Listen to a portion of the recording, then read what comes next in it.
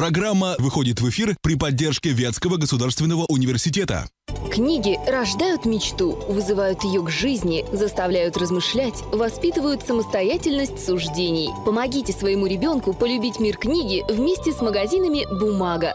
Здесь вы найдете научную и художественную литературу для семейного чтения, развивающие игры, учебные пособия и рабочие тетради. Огромный выбор книг для исследователей всех возрастов. Читайте и изучайте вместе с сетью магазинов «Бумага». Огромный выбор книг на Октябрьском 88 и МОПРО 7. Детская познавательная программа «Открывашка». Открываем мир вместе.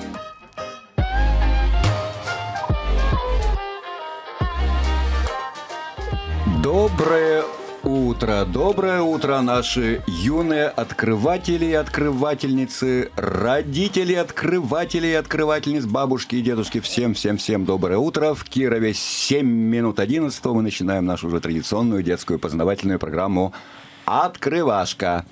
Сразу напоминаю телефон нашего прямого эфира. Эти цифры вам сегодня потребуются, потому что мы, как всегда, будем задавать вам много вопросов правильно ответив на которые, вы будете получать красивые, полезные призы. Телефон нашего эфира 211 101. Меня зовут Николай Голиков. Помогают мне провести сегодняшнюю передачу Федя Рычков. Федя, доброе утро. Доброе утро всем. Как тебе февральская э... утречка, утречка это? Холодная очень. Ты прогулялся уже? Да, долго прогулялся. Почему так вдруг получилось? А, ну, решил сам дойти. Да? Да. Да? И в итоге уехал не на ту остановку.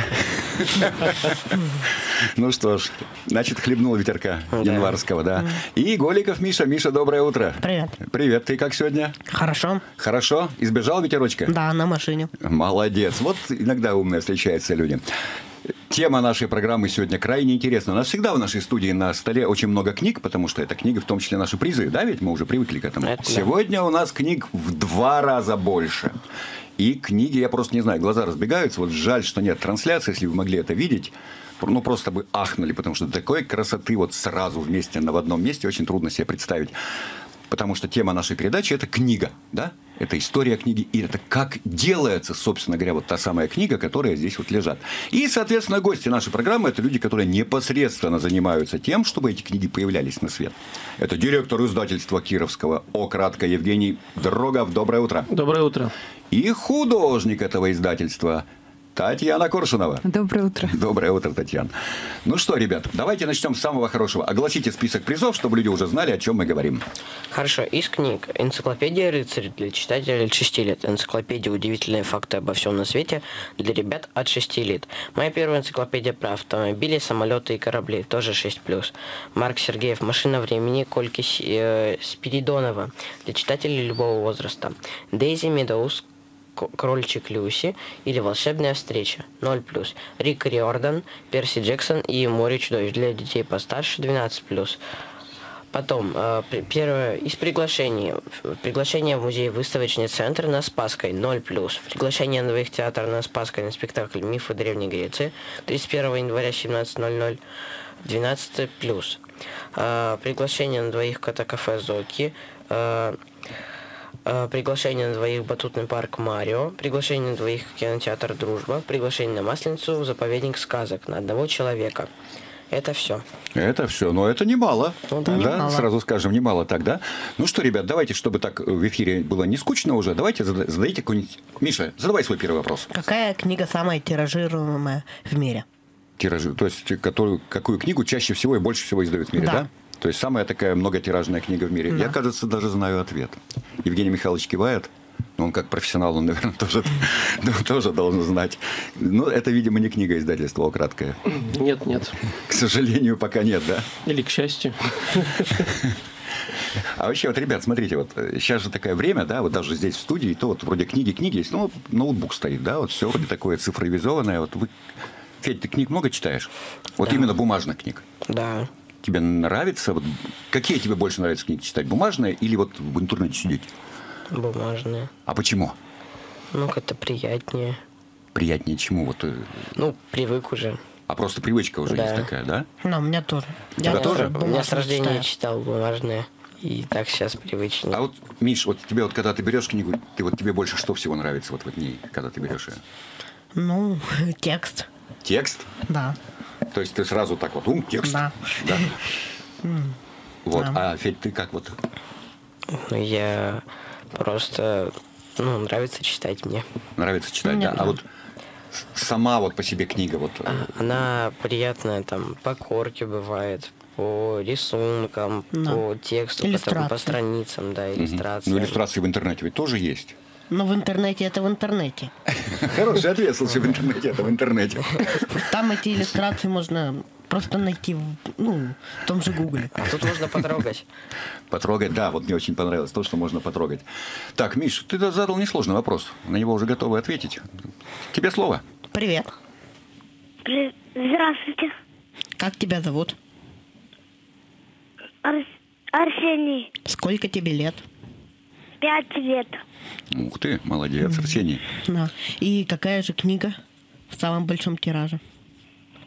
Энциклопедия рыцарей. Энциклопедия рыцарей. Нет, это он, наверное, хочет энциклопедию рыцарей выбрать. А, про- а ответ дай на вопрос, пожалуйста.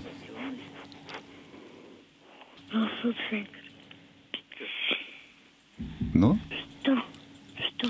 Ну, вопрос был задан, да? Библия. Библия. правильно. Конечно, правильный ответ, безусловно, это самая тиражируемая книга. Да. И я так понял, что ты хочешь получить энциклопедию рыцарей. Да. Все правильно. Молодец, ответ правильный. Книга это будет твоя. Не клади трубочку. Наш редактор объяснит тебе, как эту книжку получить. Федя, что-то? Э, Я бы хотел напомнить э, э, просто э, радио 6 Нам звонят дети, которым по 4-5 лет. Да. Это хорошее замечание. Ну, равно. да. Нет, ну мне кажется, эта программа все-таки не такого ограничения не имеет. Да. и можно ее сразу обозначить как нолик с плюсом. Тем более мы сегодня говорим про такие вещи, которые... Да. Евгений, ну, по-моему, книга сопровождает человека с рождения, да? Конечно.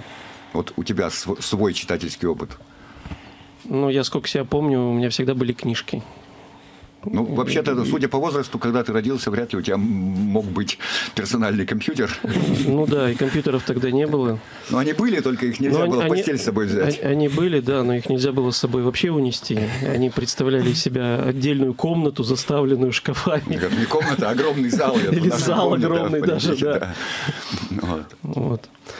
А, Ну, очень приятно, что в нашей студии э, дети, которые не просто читают, а любят читать. Сегодня далеко не, не, не каждый ребенок э, интересуется чтением и книгой. Да. Вот. Ну и вообще э, в природе человека получать тактильные ощущения, то есть Вот я почему тро- спрашивал, да, вот тро- именно. трогать, шуршать страницами, это входит в привычку, и это приятно. Если выключить компьютер, то уже никакой книги не будет, даже если ты что-то видел на экране, да. А книгу, если даже выключить свет, она не исчезнет. Интересное наблюдение. Ну, вообще, вот смотри, вот сейчас же очень много говорят о том, что... Ну, у нас часто такие разговоры бывают, что-то появляется, говорят, вот сейчас будет только, условно говоря, телевидение, не будет никакого кино, или будет кино, не будет никакого театра. Вот сейчас компьютер, не будет никаких книг. Мне вот что сегодня очень приятно, что вот, судя по поколению подрастающему, в их жизни книги точно будут. Ну, говорят, э, сейчас это обсуждается очень, Очень горячо, э, да. горячо и широко. Э, И действительно, некоторый такой ренессанс, возвращение бумажной книги наблюдается.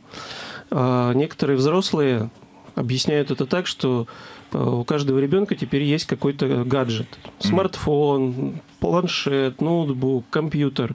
И это уже стало обыденно, это стало привычно, ни- никого уже этим не удивишь.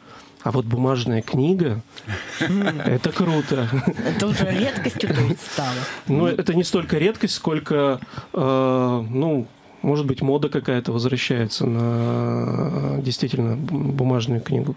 Тем более, что многие технологические новации, какие-то новшества возвращаются обратно в книгу.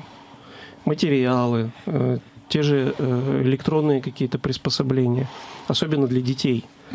И сегодня удивить э, не только ребенка, но и взрослого можно, придя м, за книгой в магазин. Вот я еще подумал, так интересно, смотри, вот э, в компьютер бумажную книгу никак не вставишь. Да. А в книгу А книгу в компьютер уже можно А В запросто. книгу можно все что угодно. Можно положить туда и флешку, и диск. И вот, вот, кстати, опять же, жаль, что у нас нет трансляции. Посмотрите, вот, ребят, вы видели эту книгу? Да. Это вообще мультимедийная коробочка такая, называется «Вятская далека». Да, это сказки на вятском диалекте, куда в комплект ходит книга, игра, вятские слова. Нужно угадать значение вятского слова, диалектного слова. Вот. И э, диск, где записано в исполнении автора и знакомого вам артиста Руслана Мамедова, Мамедова, да. э, автор Тамары Копаневой, четыре сказки. Вот можно послушать. Вот и все это можно э, унести с собой. То есть книга как бы получается даже больше мультимедиа, чем сам мультимедиа, да, скажем так. Потому что здесь еще есть бумага, которой здесь нет. Миша, что ты хотел сказать? Это то есть больше уже электронная книга? Это? Нет. Нет, это смотри. еще, это еще бумажное. Это Это, вот смотри, бумажная, это ну, очень даже бумажная книга, да. И причем мне что нравится, смотри, вот когда вот этот кружок прошел, да, вот помнишь, вот я просто с Женей говорим, да, в советское время книги издавали там 100 тысяч тираж, там массово. И, ну, качество у них было, скажем так, Разное. разное, да? Разное. То есть были такие специальные подарочные книги, за которыми в очередь надо было постоять. Были обычные массовые издания. Сейчас, мне кажется, практически, если ходишь в книжный магазин, каждая книга, уже видно, что люди стараются из каждой книги сделать что-то вроде произведения искусства. Ну, де- детские книги были достаточно качественными. Даже Ну, вот с какого-то то- времени. то- тоненькие книжицы, э, они специальными э, ре- редакциями готовились, э, редактировались, создавались иллюстрации. Э, Вот книги, которые я читал в детстве, э, потом достались по наследству э, нашим детям. Вот. И все равно главное в книге это текст. Да, и... Ну, в детской книге, наверное, не только Но текст. иллюстрации тоже, но все равно книга это в первую очередь текст, который э, возбуждает воображение, хочется самому потом прочитать, что-то представить, нарисовать. Вот. Если книга рождает э, такую реакцию в ребенке, то значит это нужная книга, хорошая книга. Ясно все. Просто у тебя детство было чуть, наверное, попозже, чем мое, потому что вот, когда я еще был маленький, книга, еще полиграфия была довольно-таки на таком слабом уровне, да, и дай бог, если на детской книжке была еще обложка хотя бы в два цвета. Вот. Обычно что, черно-белая или Черно-белая белая? книжка, графические иллюстрации очень немного, да, то есть, ну, зато это, ну, как бы старались сделать массово, чтобы люди, люди как можно больше читали. Вот. Что затихли все вдруг? Федя, задавай свой вопрос. Э, Нет, я бы хотел сказать, что почему еще книги возвращаются. Потому что вот э, мне подарили на день рождения электронную книгу, а а мой классный руководитель, э, к тому же учитель русско- русского языка и литературы. И она просит нас приносить именно, ну, не читательские, э, ну, как бы, читательские издания, которые печатные, чтобы мы их могли, не знаю, пощупать, потрогать, почитать так. Такая же а именно история. не Да? физические Да. книги. Во- Да. Так же Да. у вас? Да. Еще потому что м, книги просто стоят, нам, наверное, дешевле. И это все равно удобнее. То есть купить книгу за 500 рублей э, вживую, чем купить книгу за те же 500 рублей только в интернете. И вживую эта книга у тебя останется надолго. Да. И она будет Навсегда. твоя навсегда, да. Да. То есть еще такое ощущение, что это мое. Ее можно передать по наследству. Ну, её- Да. И по-прежнему, кстати, не забывайте, книга лучший подарок остается, да? Да, особенно если книгу еще сделал собственными руками. Вот. Вот. Задавай вопрос, Федя. А, ну, честно говоря, я даже не знаю, какой вопрос задать. Какой хочешь. А, ну, давайте так. а, для тех, возможно, кто слушает это из Петербурга или просто знает, книга, которая описывает а, Петербург, которая написана совершенно недавно, буквально несколько лет назад. Мгм. А, она схожа с названием песни группы Ленинград. Интересное Те, название. кто любит Интересно. Петербург, наверное, догадались. Нет, ну группу Ленинград, я думаю, наши слушатели не особо Вас слушали. слушают. По крайней мере, Родители. родители об этом, скорее всего, не знают, да? Поэтому я тоже делаю вид, что мой сын эту группу не слушает. Вот. В России каждый год выпускается более 100 тысяч наименований книг. Да, между прочим, Их- довольно Их даже сложный у- вопрос, у- да. представить себе тяжело какое-то количество. Это только наименований, да? Мгм. Вот. Но и, и увидеть тоже тяжело одному человеку. И причем все эти книги разные абсолютно. Да, конечно. Все разные книги. Вот, я, кстати, хочу еще напомнить, мы сегодня как раз, я несколько раз сетовал, что, к сожалению, у нас нет видеотрансляции, чтобы показать вот то, что лежит на столе, тоже вот Вятское далеко, все, но я хочу слушателям сказать, что запись все равно ведется, да, запись-то ведется, поэтому завтра программа появится на сайте, можно будет посмотреть ее в YouTube. Если вы, ребята, думаете, что вас никто не видит, как вы друг другу мордочки корчите, то вы ошибаетесь, вас прекрасно все завтра рассмотрят. Вот. Давайте к Евгению перейдем. Вот еще смотри, вот мы заговорили о том, что в книге главный текст. Но я как-то в этом немножко усомнился, особенно когда речь пошла о детской книге. Потому что вот когда идешь, приходишь в магазин, выбираешь книгу детскую, да, и, ну понятно, есть авторы, которые хорошо известны. А когда выбираешь просто бубух, и тут, по-моему, уже как бы у художника появляется такая роль.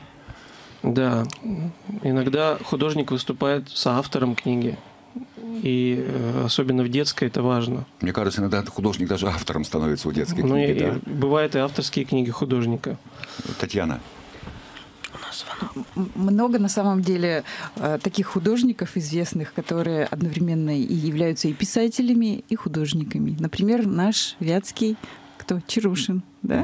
который сам и сочинял э, Евгений. Евгений, Евгений, да. Евгений Чарушин и иллюстрировал. То есть им можно гордиться.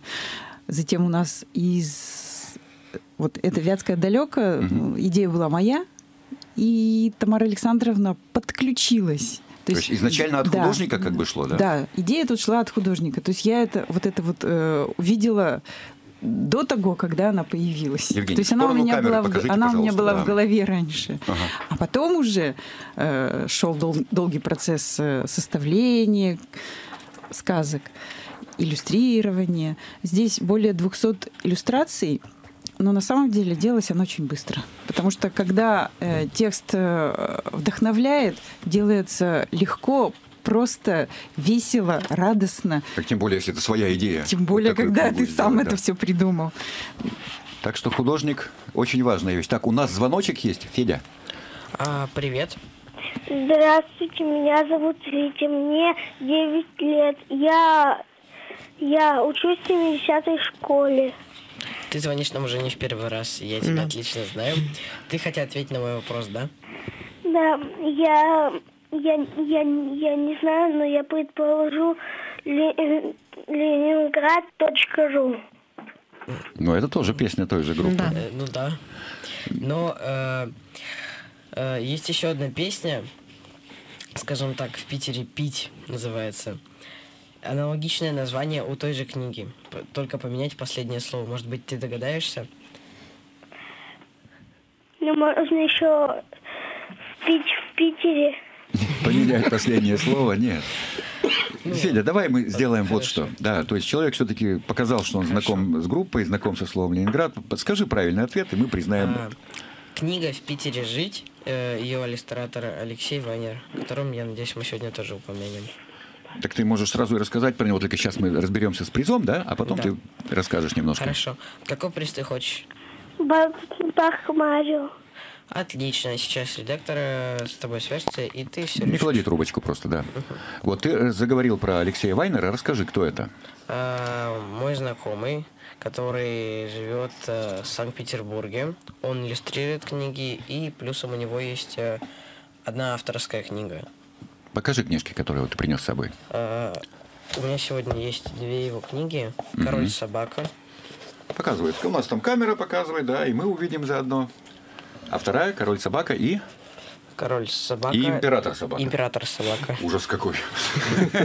Ну сейчас год А собаки вообще-то. И король и император это примерно одно Ну, примерно, не совсем, наверное. Вот к- понимаешь, что интересно, Миша, вот такой заголовок, да, ты говоришь, в чем разница? Приход- Приходится покупать книгу, чтобы понять, в чем разница. Судя по обложке, это разные собаки. И, похоже, даже не очень дружная между собой. да. Ясно. Ты сам-то читал эти книги? Нет, еще не успел. Ну, посмотрел, полистал. Картинки красивые, да? Посмотрел картинки-то, да, ведь? Да. То вот возвращаясь, да, вот к разговору о художнике, ведь какая большая роль у художника, да? А вообще вот, Евгений, у меня такой вопрос, я не знаю, я думаю, что дети потом спросить, сколько человек вот задействованы в том, чтобы появилась книга? То есть про директора издательства мы поняли, про художника мы поняли, а вот э, сколько людей нужно, Вы, чтобы вы знаете, появилась? мне очень нравится метафора, что книга это ребенок, у, которого не двое родителей, как у человека, а много родителей. Э, И это количество может варьироваться в зависимости так. от того, какая это книга. Писатель, Автор. автор, Да, текст. автор текста, да? редактор, корректор, художник, может быть художественный редактор, который редактирует не текст, а э, визуальный ряд. То есть это редактор, который уже правит художника. Да, а, Ясно. дизайнер книги, который э, создает макет. Может быть человек, который осуществляет верстку текста и компоновку э, изображений. После причем это все редакционная издательская подготовка. Это люди, которые работают в издательстве. После того, как макет книги подготовлен, он э, поступает в типографию. И в типографии есть тоже много э, людей, много участков, где э, книга появляется на свет уже. Печатники, переплетчики и, и так далее. Мгм. И вот все эти родители участвуют в создании, в появлении книги на свет. И если кто-то из родителей не очень любит своего ребенка, то может быть что-то с книгой в итоге не- так. Но То есть получается, что должен быть еще один человек, который за всеми другими родителями надирает, чтобы все все сделали правильно.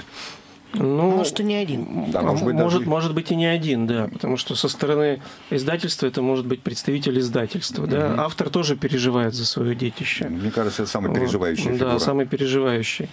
Э, В типографии тоже есть э, специально обученные люди, которые следят за технологическим процессом, э, за координацией слаженности работы между разными участками. Вот, и следят, чтобы в итоге ребенок появился такой, какой он задуман своими родителями. Вот здесь просто у нас на столе лежит Да. такой большой-большой лист. Это вот, Вот. это какая-то средняя стадия работы над книгой. Да-да-да. Вот, Вот, вот это когда? э, Это печатный лист вот этой книги. Это ну, относительно новая книга нашего издательства «Азбука города» вместе с архитектором Чарушиным. Э, Это такой одновременно и путеводитель, и мини-энциклопедия. Э, И тоже чувствуется рука все того же художника. Да, и тут художник Татьяна очень, Курсунова очень тоже, да? сильно постарался. И вот э, так выглядит книга после того, как печатный лист выходит э, из печатной машины. Вы знаете, ребят, что такое печатный лист вообще? Вот это лист, вот это лист бумаги, запечатанный с одной стороны. Вы Вот видите, такого формата, да? Да, Или- вы или видите, такого? что здесь 8 страниц, да? Еще 8 страниц появится на обороте, но здесь, правда, он, он только с одной стороны э, запечатан, это такой контрольный лист. Нам типография как заказчику показывает, как э, идет процесс печати, все ли хорошо, А, так ли цвета отображаются, как мы задумали, и вообще нет ли каких-то э, ну, фатальных, э, может быть, проблем. Вот. Мы видим, что все прекрасно, и говорим, печатайте дальше. Мгм. Вот. После того, как тираж будет отпе- отпечатан с одной стороны, лист переворачивается, и печать идет на другой. Но здесь э, он не запечатан. Мгм. Вот. И потом, после того, как э, печатный лист будет запечатан с обеих сторон, он складывается, и появляется целая тетрадь, которая, из которой потом составляют книгу. То есть э, в книге Если вот с торца посмотреть, да, Да. обычно эти вот, видно Вот. вот эти печатные листы, Да, как вот они сложены. Их даже да? на корешке видно, Мгм. что книга состоит из нескольких вот таких тетрадей. Их называют тетрадями. Дальше их э, обрабатывают, э, сшивают в единый текстовый блок и приклеивают к текстовому блоку обложку. Вот. Ну, на самом деле э, операций очень много технологических, и можно долго об этом рассказывать. Если кто-то этим заинтересуется, может специально об этом почитать, посмотреть. И вообще в нашем опорном университете э, до сих пор еще существует специальность, которая называется из- издательское дело и редактирование. Ты как всем-то удивление, говоришь, до сих пор существует. Мы только что говорим о том, что книги все больше и больше Да, востребованы. Тем не менее, тем не менее. Ладно, вот. давайте сделаем маленький-маленький, буквально несколько секунд перерывчик, и потом вернемся в студию. Веков то и интернета, все как будто под рукой. Ну а вдруг, однако, нету, не мечись по кабинету, а ступай-ка, дорогой. Ты в такое заведение, где уют и тишина. Там найдут произведение, в ней одной твое спасение. Это, братцы, все она библиотека.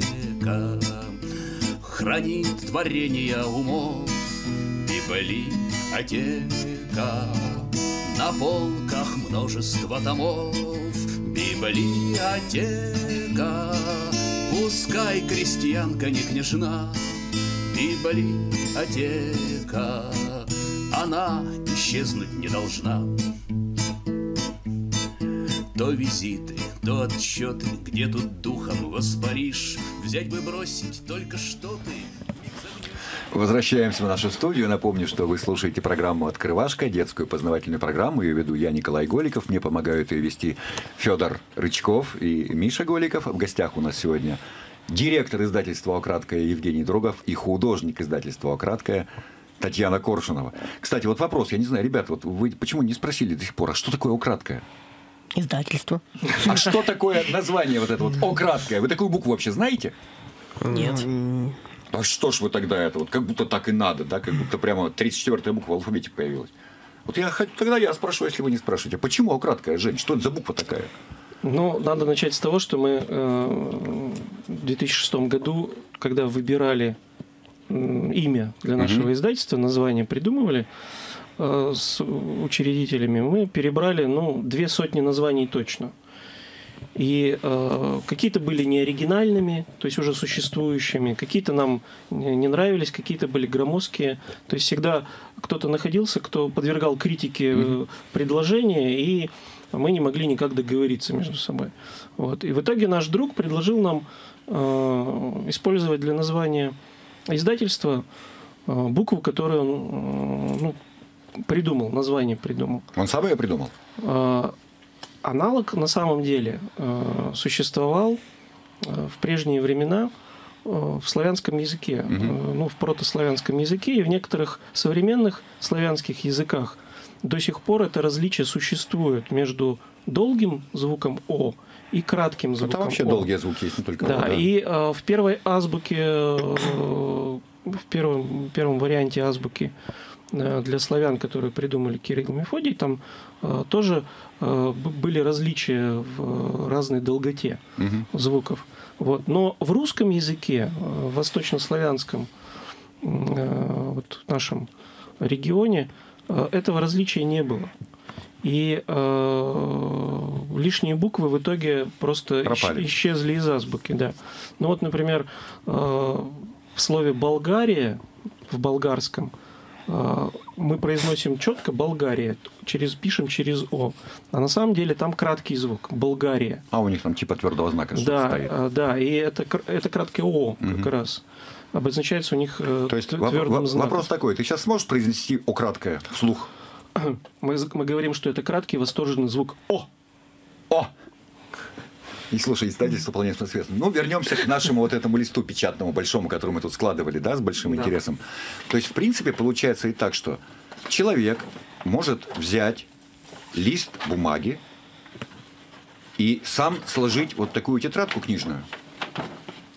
Давайте, Татьяна, давайте попробуем. Давайте Может, попробуем, может быть, да? Может сложить. так, ребята, у вас есть бумага с собой здесь? Да. Так, давайте. Так, Ну, ну что, пройдем краткий курс книгоиздания. Мы сделаем маленькую книжечку. Мгм. Так, значит, Быструю маленькую книжечку. Листочки обычные, стандартные. Ребята, кто нас слушает, можете тоже вместе с нами делать, мы все объясним. Обычный стандартный листочек четвертого формата. Книжечку, которой можно потом самому что-то написать, да? Мгм. выступить еще и писателем. Ага. Да, но самое главное, давайте маленький ликбез. Мы сначала э, проговорим, что у нас будет в книжечке. Ага. У нас будет э, плотная обложка, которую вы сделаете отдельно из другой бумаги. Мгм. Затем у нас будет э, аван-титул, это первый лист, где обычно пишут дарственные. Затем следующий у нас будет с вами титульный разворот. И Где дальше, название где, собственно, название где непосредственно книги, название книги, часто там, описание. да, нет, не краткое описание, Краткое там описание на обороте. да? Аннотация на обороте. Оборот – это контртитул. Там обычно бывает э, краткое описание, аннотация, выходные сведения и э, различные тайные знаки, типа СБН. А, да, да, да, да, да. Э, И дальше уже непосредственно идет спусковая полоса и дальнейшие ти- э, различные типовые развороты. То есть мы почти с вами сделаем прототип Самые настоящие книги, настоящие да. книжки. Только он будет у нас с вами маленький, Ой. э, хорошенький и э, удобненький. Можно Слушайте, вот я сразу даже знаю, для чего такие книжки можно использовать. Это для контрольных работ. Ну да, для контрольных. Для контрольных работ гораздо удобнее, чем любой мобильный телефон. Меньше места занимает. На ЕГЭ сидишь, тебя спрашивают. Да, да, вот. Нет, я книжку Вот читаю. только дальше все тайны не раскрывай, потому что наши педагоги тоже нас слушают. Да. Так, да, чтобы для ускорения э, порезанные два листочка. Так. То есть листочек режется пополам, да? Э, Берется По длинной А4 стороне. лист. Чтобы Мгм. вам было интересно, делаем с нами. Давайте, конечно.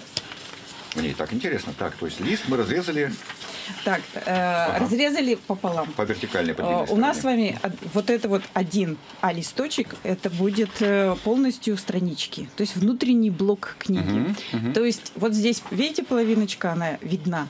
Значит, мы с каждой стороны сейчас складываем внутрь. Вот, до этой линии Ага, то сгиба. есть До середины. До Сгибаем середины с краев до середины. Да. Ой. Слушайте, ну, надо телевизионную передачу делать, да? Я уже несколько раз думаю, когда к нам, помнишь, фокусники приходили? Там должна была быть телевизионная передача, вот как-то надо будет над этим поработать. То есть вот получается у нас, сюда. да, внутрь складываем. Мне просто не слишком видно. Нет, вот так вот. Идем. Не, я вижу. С краев. Ага. То есть мы видим, что мы складываем внутрь. Внутрь. Точно так же делаем И второй второй листочек. точно так же, да? Вот. Евгений Михайлович, Да. ты как директор издательства должен контролировать процесс. Хорошо. Я буду направлять. Направлять и делать замечания, если кто-то что-то делает не совсем так, потому что это как бы мы делаем книгу для издательства «Украткая» Нет, мы делаем книгу для себя. Для урока. для уроков. Вы можете меня пока что-нибудь спросить, я вам пока расскажу, Ты чтобы у нас слушатели не скучали. Да. Ну, нам, конечно, весело. Ребята, спросите о чем-нибудь, если хотите. А вот э, как вам Ладно, приходит пополам. идея вообще э, создать книгу? То есть э, просто случайно или вы к этому готовитесь? Или приходит... Знаете, иногда можно сказать, что э, как, как вам пришла идея э, издать книгу? Можно сказать, я к этому шел всю жизнь. Но это так будет шутка. Но на самом деле по-разному происходит. По-разному происходит. Иногда к нам приходят авторы со своими идеями. Иногда мы что-то придумываем и уже под идею э, приглашаем э, авторов, разных э, людей. Так, Евгений Михайлович. Посотрудничать. Так, и еще вдвое, да? Да. Так, продолжайте, продолжайте. Мы тут своим делом заняты. Вы нам не мешаете совсем, говорите. Ну вот э, Татьяна уже сказала, что э, идею создать книгу сказок на э, вятском диалекте пришла на самом деле художнику в голову. Вот. И она этой идеей увлекла э, нашу сказочницу Тамару Копаневу, э, которая взяла за основу сказки, собранные этнографом Зелениным в Вятской губернии в начале 20 века. и авторски их переосмыслила с использованием э, лексики того диалекта, который в нашей Вятской губернии э, бытовал. Мгм, Такой Гармошка получается. Ага, мы пока гармошку делаем. Вот. Это вот один вариант такой, да, когда вот художнику приходит идея такая графическая, да. что вот как бы это было здорово. Вот, но надо сказать, что чаще всего бывает наоборот. То есть э, автор со своей идеей, с текстами приходит в издательство и говорит, вот я хочу издать книгу, например, э, ну, богато иллюстрированную. Да, и тогда художник тогда художник должен как минимум э, прочитать этот текст, чтобы у него появились идеи, как э, ее представить. Мгм. Вот. Э, Какого формата будет книга, сколько в ней будет страниц, какой будет переплет. Чаще всего это коллективная работа. Э, Идет какое-то какое-то предложение, да, оно обсуждается, обдумывается, иногда в процессе работы корректируется. Вот. Так, у нас гармошки пока получились такие. Две гармошки должны Две гармошки. получиться. Антошка, Антошка, сыграй нам на гармошке. Ага. Е- Евгений, ну смотрите, вот автор, да, вот приходит, например, книжку написал, да? Автор книжку написал, приходит, говорит, вот я текст написал, хочу издать. У него же все равно нет такого понимания, да, как далеко зашла полиграфия, и что с этой книжкой можно сделать. То есть вот все равно это вот креатив-то от вас уже, наверное, исходит чаще всего. Ну да, конечно. То есть как бы вот никто ж наверняка не знает, вот, до чего дошел прогресс. Ча- ча- чаще всего человек приходит, говорит, вот что вы посоветуете. И в зависимости от жанра, от э, целевого назначения, то есть кто будет читателем, что это за книга, мы уже предлагаем тот или иной вариант. Если, например, это путеводитель, да, то удобнее, если это будет э, карманного формата книжка, которую можно э, легко спрятать э, в карман или э, в сумку. Вот э, вмешаюсь, у Феди немножко не такая гармошка получилась. Так, а как один в другой? Просто на краю, да, вот так вот? Федь, посмотри, вот, вот Вот. в другую сторону, да. мгм. Они, ты сейчас сделал основные заломы, сейчас просто исправляй их, чтобы они были как гармошка. И Ага. один в другой И вот так вот просто, встав- да, вот встав- ставили, вставляются. ставил, понял, ага. Да. Так, мы пока тут сидим, Евгений Михайлович отдувается. Миш, задай вопрос слушателям, да? Какая самая дорогая книга в мире? Какая Сейчас. самая дорогая книга в мире сейчас? То есть есть Да. некая книга, конкретно, да, которая Да. вот сейчас, вот это вот конкретная вот такая бумажная книга, которая сейчас самая дорогая, да? Да. А, Очень интересный вопрос. Я вот Ты даже- знаешь на него ответ? Я не знаю на Вот него заодно и ответ. узнаешь. Но, правда, я видел разные книги. Иногда люди специально стремятся создать такую книгу, чтобы всех поразить. Чтобы она была самая-самая какая-нибудь, там, самая большая, самая... Вот, наверное, дорогая тоже есть. Ну вот смотри, вот ты принес Вятское далеко, да, ведь это совершенно вот такое вот, ну для человека, который не следит за книжным бизнесом, да, это просто что-то такое невообразимое. Это же А вот, придумать кстати, вот как вот, это кстати, все полностью. Вятское далеко это пример э, того, как из идеи просто издать книгу м, появляется идея э, эту книгу дополнить еще э, вот, игрой. Причем, ну, она дополнена, и причем дополнена это очень гармонично. То есть Да. все как бы одно с другим хорошо сочетается. Потом появилась идея записать несколько сказок э, в аудио формате э, на диск. Вот. А потом стала задача, появилась задача, как это все объединить, как это соединить воедино. И тогда появилась вот такая э, коробка. Причем коробка тоже, это, наверное, третья, третья версия коробки, которая была То есть придумана. над коробкой тоже долго Да, работать то есть пришлось, да? изначально мы предложили один вариант, у типографии был другой, другое предложение, и потом в итоге появился такой ком- комбинированный вариант. Так, маленькая пауза. Миш, нам позвонил человек, который знает, оказывается, про самую дорогую книгу. Привет. Здравствуйте. Как тебя зовут? Михаил. О, тезка. Сколько тебе лет? Десять. В какой школе ты учишься? Четырнадцатый. И ответ. Какая же книга самая дорогая? Библия Гутенберга, отпечатанная в 1456 году, тиражом 180 экземпляров. Так, у тебя другая информация, Миш? Это не совсем правильный ответ. А какой у тебя ответ, вариант? Это Лестерский кодекс да Винчи. А Самая он дорогая стоит книга. 38 миллионов долларов. Лестерский кодекс 49 миллионов долларов. Так, дискуссионный вопрос. Но дело в том, что пока мы, Миш, ты готовился к эфиру, что-то могло измениться. Я думаю, что ответ насчет Библии Гутенберга надо тоже Ну признать да. правильным, потому что, извини, такая цифра, а там уже 38 миллионов, 49 миллионов. Это сон безумные Да, деньги за одну равно. книгу, да. Поэтому я думаю, что надо ответ признать Да. правильным. Ты согласен со мной? Да. Ну, продолжай дальше И разговор. какой приз ты хотел бы получить? Я не слушал.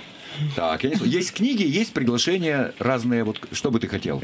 Приглашение или книгу? Книгу. Книгу. Хорошо, давайте я повторю. Энциклопедия рыцаря для читателей от 6 лет. Энциклопедия удивительные факты обо всем на свете. Моя первая- можно я тебя немножко перебью? Смотри, 10 лет мальчишке, да? Ясно, что вот тут некоторые энциклопедии уже точно Ну, тогда великоваты, маловаты я- для него. тебе- Слушай, а у тебя есть какой-нибудь братик или сестренка маленькая? Нету. Нету, да? Вот. Тогда- Тогда надо какую-то книгу уже для Я, взрослую я предлагать. тебе могу посоветовать Яков Перельман «Занимательная физика».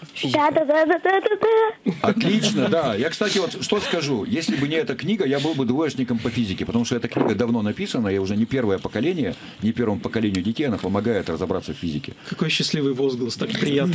Да, нет, ну на самом деле книга великолепная, это отличный выбор. Так что не клади трубочку, тебе объяснят, как ты сможешь ее получить. Вот. Мы, так, до чего мы дошли в нашем производстве книг? Так, мы Вот. уже сделали внутренний блок. Да, У нас уже сделали, готов внутренний блок книги. Да. У всех, я смотрю. всех, да. А, Сейчас мы будем соединять а, внутренний блок, надевать на нее обложку. Мгм. Вот Чтобы ускорить процесс, Вот. я вам А- тут а я пока, да, я пока Евгений Михайлович спрошу такой вопрос задам. Смотри, вот ты говоришь, что каждый хочет сделать книгу такую, чтобы, значит, ну, неповторимую совершенно. Нет, это может быть совершенно простая книга. Нет, ну, мечта издательства сделать что-то такое, чтобы Мечта издательства, да. Вот насчет Вятского далека получилось такую книгу сделать? Вы знаете, получилось. же, как вы одели. А как это вот, в чем это выразилось, Евгений Михайлович? Ну, во-первых, эта книга замечена э, многими э, экспертами, конкурсами. Э, Она получила у нас с момента выхода уже 12 э, наград разного уровня. Складываем. Вот. Книга интересна не только детям, но и взрослым. Вот так вот. Одеваем. Причем, если э, интереса какого-то вот к чтению первоначального, может быть, у человека нет, он может поиграть в игру, э, послушать э, сказки в аудио формате.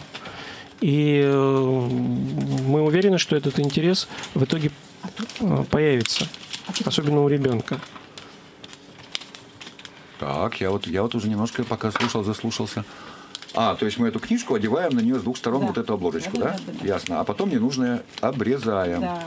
На- Ножницы. Да не вот так-то вот все ножницы, просто. да. Вот здесь ножницы есть тоже? Так. Ой. А у меня как-то не мы очень сейчас получилось. складываем вот здесь, А, вот складываем, чтобы у нас получился корешок. Так мне надо все переделать. То есть эта книга была замечена, да? То есть не зря усилия прошли. Да, конечно. Вот. Жень, а вот это ж не только, вот смотри, там рядом еще красота такая лежит. Это что за книжка? Ой, это тоже замечательная книга. А, Это книга английского автора Олфрид Гоувей, переводная «Лошадь в мифах и легендах». А, Идея издать такую книгу к нам пришла в процессе общения в Москве на книжной выставке э, с одним нашим известным, э, скажем так, книговедом, который э, предложил обратить внимание на одну дипломную работу э, студентки университета печати в Москве, которая сама увлекается лошадьми, Но. и на, на дипломный проект взяла вот эту книгу для того, чтобы ее проиллюстрировать. Она выходила до этого в черно-белом варианте, в обычном таком небольшом формате, а, где был только текст и около дес- десятка черно-белых иллюстраций, и все. Вот.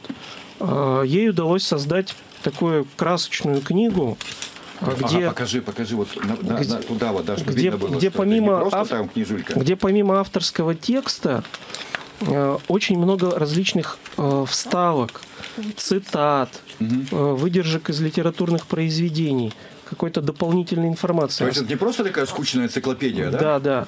А самое главное, что э, она оформлена с любовью и специально э, для книги созданы э, целый ряд иллюстраций. Художницу зовут Алина Милентьева, она живет в Москве. Вот. Э, Ну, вот в итоге, в результате такого... То есть английский автор, московский, Московский художник, художник и книжное и издательство в кировское городе Кирове, издательство, да. Вообще интересно Вот это. это у нас тоже одна из самых популярных э, книг, э, которая у нас расходится и, на выставках и заказывают у нас и интернет-магазины. У всех получились книжечки. Вот, Вот, давайте книжечки покажем. Мы тем временем, Жень, смотри, занялись полезным делом, да? Мне тоже ведь пригодится, слушай, на радио тоже иногда раз хочется куда-нибудь заглянуть, а компьютер не всегда Да. в руках. Вот. Ну вот. Книжечка у нас получилась. Маленькая-маленькая книжечка с обложечкой у нас есть. Книжечка с обложечкой. Дальше, соответственно, если мы будем ее оформлять, да? Да, Дальше можно совершенствовать свои навыки. да. Можно, вот видите, тут, смотрите у меня какие есть книжки. Опаньки. Тут даже с тиснением. А как это сделано? Секрет. Мастерство. Это целая технология, это уже отдельная Татьяна, ну, ну, передача. это уже, я так понял, что не ваша дочка делала, да? Это уже Нет, сами. это не дочка Она, да? делала, да. Это вот э, технология тиснения специальными материалами, нагретой резинкой. Ой-ой-ой-ой-ой. Здесь вот, видите, вот разный дизайн этих же самых книжечек. Ага. Смотрите, вот видите, с вырезанными. Можно взять цветную бумагу, можно несколько таких ленточек между собой соединить, и будет... Слушай, я, То есть, я видите? уже увлекся. Разный дизайн. То есть, видите, книжка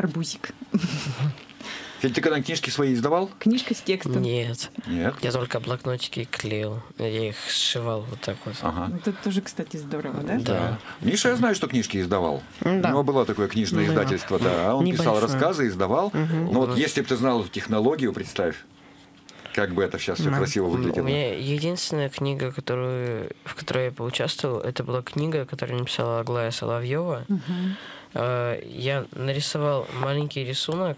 э, Точно сейчас уже не могу вспомнить, что это было. Мне тогда было лет, по-моему, шесть. И эта книга шла на, для того, чтобы ну, помочь детям больным. То есть Мгм. они продавались, и деньги собирали... на Благотворительный проект называется Да. это все. Мы издали три книги Аглаи Соловьевой. Да, я, кстати, видел. Все интересно. А что ты там нарисовал, помнишь? А, по-моему, что-то наподобие чебурашки. А книжка как называлась, помнишь? А вот это я не помню. А что надо было нарисовать? Чебурашку? А, Или ну, просто какого-то героя, который потом будет следовать. Так, Федя, слушай, у нас Здорово. есть еще немножко минут. Слушай, задай вопрос, мы дальше продолжим наш разговор, да? Не хочешь? Миша, Да. задавай тогда ты. Самая длинная книга в мире. Самая длинная книга в мире. Да, Это именно смысле? по количеству страниц. А, а, то есть самая И слов. толстая получится. Да. Самая толстая книга Ну, в мире. Ну, может там быть. не одна книга, там несколько томов. Слушай, мне что-то подсказывает, что я тоже знаю ответ на этот вопрос. Потому что где-то, я не помню, читал недавно, сколько этих томов заняло. И я, по-моему, читал. Но я, не не говори. помню, я не помню название книги. Не говори. Сколько томов. Я думаю, название но этой книги мы, все, мы но все, мы все знаем, только мы ее редко представляем в бумажном виде, да, Миша? Ты про это имеешь в виду? Все правильно, да. Такой то безумный был проект, когда решили это издать на бумаге. Ну ладно. Подсказка. Самая длинная книга в мире. У вас еще есть шанс, у нас осталось немножко буквально времени, но вы сможете вполне ответить, получить свой приз. Призы пока еще есть, призов очень много разных. Мы как раз остановились на чем? Вот на этих вот прекрасных маленьких книжках. Слушай, ну ведь, Евгений, а вот такого рода какие-то вот совершенно необычные книги издавать приходилось? Вот такого формата, например. Маленькие мы еще не издавали. На самом деле, а, далеко не каждая типография способна технологически вот такую малютку. То есть, ребят, то, что вы сейчас сделали, не выпустить. каждая типография способна сделать. Ну, в, тира- в ти- в тираже, да. То есть, если речь не идет о ручной работе, вот, а о тиражной. Вот, ну, вынашиваем несколько идей. Я Так есть же такое даже, по-моему, целое общество любителей миниатюрных Да, книг. Конечно. такие, да, то есть как бы Ми-. Миниатюрная книга считается, если э, высоту она меньше 10 сантиметров. Вот меньше 10 сантиметров это книжки-малышки, миниатюрные издания называются по-разному. Вот есть, да, э, библиофилы, которые собирают такие книги. Библиофил, да? Библиофил, ну библия. Человек, который любит книгу. Так, у нас вопрос. Самая длинная книга, самая толстая, самый толстый многотомник в мире. Да. Вот. Все такие вопросы у Миши из книги рекордов Гиннесса. Вот э, у меня есть книга про рекорды Гиннесса. Я ее прочитал все, но там такого вопроса не было. А это не так давно появилось, насколько я знаю. Скорее всего, это надо уже более новое издание этой книги Нет, я рекордов смотреть. 2018 года. 18 уже, да? Да. Интересно. Миша хорошо подготовился к программе. Ну, понимаешь, если ты там это не нашел, то боюсь, что и нашим читателям гаджетах будет трудно это Ну, в интернете найти. это тебе Не, в интернете, я это в интернете нашел. В интернете нашел, да? Ну, ребят, загляните в интернет. Если Миша нашел, вы тоже найдете. Ну, это смотри, опять же, А, Евгений, а да, мы- а мы да. бы тоже хотели разыграть книжку, вот «А- Азбука города вместе с архитектором Чарушиным. Ну, книга очень красивая, на самом деле. Да. Ну, вот давайте так, если сейчас кто-нибудь позвонит, мы предложим именно эту книгу, потому что это, я думаю, всей семье Ну, будет отличный если подарок. на вопрос э, никто не сможет ответить, мы можем свой задать вопрос. А задайте свой вопрос, потому что у нас немного времени уже остается. Да. Задайте, пусть будет два вопроса Меньше пяти минут осталось. Да. А, Архитектор Иван Аполлоныч Чарушин внес огромный вклад в развитие э, архитектуры и градостроительства не только нашего города, но и всей э, Вятской губернии, Всей Кировской губернии. области. А сколько зданий построил архитектор Чарушин? Сколько сотен зданий, скажем так? Предложи варианты ответа. А, 100 зданий, Мгм. 500 зданий, Мгм. 1000 зданий. 100, 500 или 1000. То есть по Да. проектам Чарушина построено Да, здание. да. Вот, слушай, это, это интересный вопрос. да? Интересный вопрос. Но, ребят, вы не бойтесь, вы позвоните и, в принципе, может, даже и угадаете, если не знаете, да? И почему нет-то? Можно ведь угадать. Да. Можно угадать, вполне догадаться. Хотя, на самом деле, интересно, вот когда по области ездишь, да, приезжаешь, смотришь что-то, просто спрашиваешь, говорят, это построено по проекту Чарушина. Очень интересно бывает, приятно это. Так что у нас еще одна книга в розыгрыше. Азбука города, правда, очень красивая книга. Это уже такая, ну, как бы это, выставочный экземпляр такой, скажем, да? Вот. Ребята, у вас два вопроса и совсем чуть-чуть времени, чтобы на них ответить, да? Либо самая длинная, самая длинная книга, либо сколько зданий по проектам Чарушина построено. Сколько зданий по проектам Чарушина построено? Вот.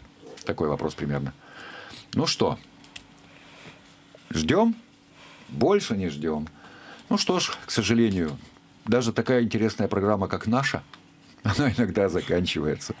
Хочу напомнить, что вы слушали программу «Открывашка». Вы потом сможете посмотреть запись программы в YouTube, увидеть все вот эти прекрасные книги, которые на столе, увидеть, как мы тут изготавливали свои книжечки под руководством опытного художника и приобщились к этому бизнесу. Я хочу сказать спасибо да, нашим гостям, Евгению Дрогову, директору издательства «Кратко», и Татьяне Коршуновой, художнику этого издательства. Спасибо. И моим соведущим, да, Спасибо Михаилу, большое. Михаилу и Федя. Всем спасибо большое. До новых встреч в следующее воскресенье в 10 утра. Слушайте нашу программу. Всего доброго. Всего доброго. Пока. Детская познавательная программа «Открывашка».